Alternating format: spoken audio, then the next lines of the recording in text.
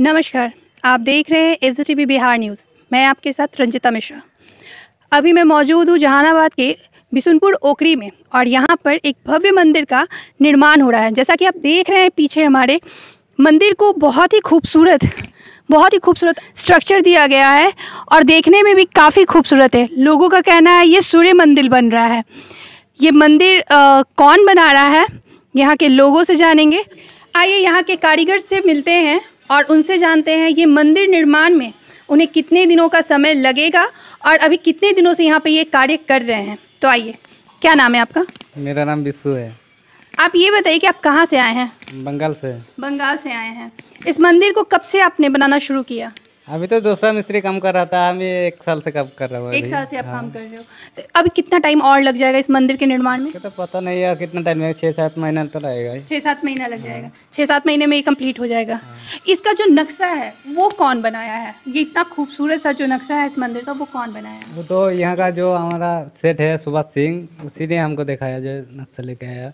उसी ने बताया हमको जो जी यही डिज़ाइन बनाना है ये डिज़ाइन बनाना है आपको। कैसा लग रहा है? मंदिर का निर्माण करने में कैसा लग रहा अच्छा लगता है। है बहुत अच्छा लग रहा है? हाँ। यहाँ पे सब लोग कैसे हैं? यहाँ के गाँव वाले आपको सपोर्ट करते हैं? हाँ सपोर्ट तो कर रहा है। यहाँ का बहुत आदमी अच्छा है सब। बहुत अच्छा है। चलिए धन्यवाद। यहाँ के ग्रामीणों से भी मिलेंगे और उनसे जानेंगे ये गाँव के निवासी लोग हैं। वो लोग चंदा इकट्ठा करके बना रहे हैं। या फिर नेता या सामाजिक कार्यकर्ता कौन है इसके पीछे? आइए मिलते हैं लोगों से। तो ये बताइए ये जो मंदिर है इस मंदिर का निर्माण यहाँ के गाँव वाले मिलकर के बनवा रहे हैं या फिर कोई पॉलिटिशियन सामाजिक कार्यकर्ता या फिर कोई और है? नहीं मैडम यहाँ के वो उद्योग उद्योग उद्योगपति हैं संप्रदा बाबू। उनके बेटा सतीश बाबू ने बनवा रहा है। सतीश बाबू किस चीज़ का उद्योग है? उन लोग का किस चीज़ का बिज़नेस है? दवा के फैक्ट्री है। दवा का फैक्ट्री कौन सा फैक्ट्री कौन सा दवा? वेलकम है गल्फा है कैचेट है एक फैक्ट्री है। अच्छा उन्हीं के पुत्र बना रहे हैं हाँ। पे? संप्रदा बाबू तो नहीं रहे लेकिन उनका लड़का सतीश बाबू ने मंदिर का निर्माण कर रहे हैं। निर्माण कर रहे हैं। इससे आप लोग के बीच में कितना उत्साह है? बहुत उत्साह है मैडम। गाँव का भाग्य बदल गया किस्मत बदल गया गाँव का। सूर्य मंदिर बन रहा। है जैसा कि अभी पता चला कि एलकम का मैनेजिंग डायरेक्टर के द्वारा ही ये मंदिर का निर्माण किया जा रहा है सतीश बाबू। तो ये बताइए इस मंदिर के बनने से आप लोगों के बीच में गाँव वासियों के बीच में कितना उत्साह है? बहुत उत्साह है मैडम। बहुत सब लोग खुश हैं पूरा गाँव वासी खुश हैं। अच्छा। बाजू में अपना ये सूर्य मंदिर है ये तालाब हो गया अपना छठ अच्छा इसमें तालाब का तालाब बनाया जा रहा है? जी। जी इसमें तालाब बनाया जा रहा है इसके लिए कि छठ भी कर सकते हैं लोग गाँव के लोग या बाहर से भी लोग आ सकते हैं शादी ब्याह भी हो सकता है इधर। तो आप लोगों के बीच काफ़ी उत्साह है। बहुत उत्साह है। चलिए कुछ और लोगों से मिलते हैं हम लोग। जैसा कि यहाँ के लोगों का कहना है कि संप्रदा बाबू का बेटा सतीश बाबू यहाँ के मंदिर का निर्माण कराए हैं।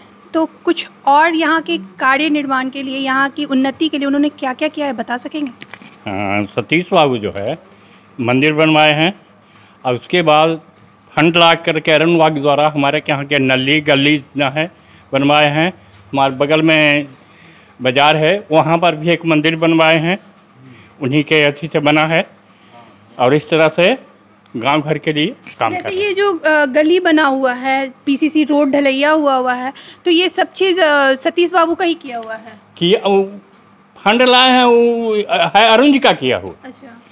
संसद का फंड से बना है हम्म, लेकिन पैरवी किए हैं फंड यहाँ लाए हैं। कि यहाँ पे सतीश बाबू ने क्या क्या कार्य किया है इस गाँव के लिए? गाँव के लिए बहुत किया पुस्तकालय का निर्माण करवाए हैं दो मंदिर तीन तीन मंदिर बनवाए देवी मंदिर ठाकुरबाड़ी में जो सूर्य मठ बन रहा है सो इसके पहले भी ये हुआ था। वो स्थापना मूर्ति आई थी ठाकुरबाड़ी में वही लाए थे। फिर आपको बाज़ार तरफ़ है दुर्गा मंदिर ये सब सतीश बाबू के द्वारा किया हुआ है। मंदिर के अलावा क्या क्या किए हैं यहाँ गाँव के लोग कुछ लोग को एम्प्लॉय अपनी कंपनी में एम्प्लॉयमेंट एम्प्लॉयमेंट दिए हैं। युवाओं को रोज़गार दिया हाँ। युवाओं को रोज़गार हाँ दिया है। हाँ हाँ दिया है। जैसा कि आप देख रहे हैं इस दुर्गा मंदिर का भी निर्माण, जो कि मेन रोड पर बनाया गया है, और इसका भी निर्माण सतीश जी ही करवाए हैं। सतीश जी, जो कि कैचेट फर्मा के एमडी हैं, उनके द्वारा तीन मंदिरों का निर्माण इस गाँव में कराया गया है। जैसा कि मैंने आपको दो मंदिर पहले भी दिखाया है, और ये तीसरा मंदिर है, जो कि मेन मार्केट में है और मेन रोड पे ही है, माँ दुर्गा का मंदिर।